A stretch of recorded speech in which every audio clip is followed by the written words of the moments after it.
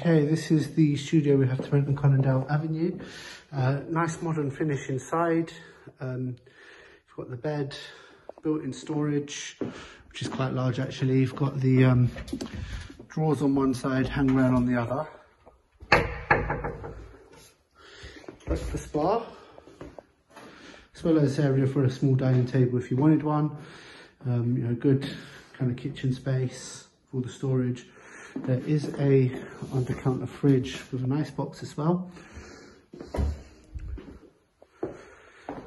Got the uh, bathroom through here. Shower cubicle, sink, storage underneath, as well as a heated towel rail. There is a communal laundry part as well through here, which is shared with, I think, uh, two or three other flats.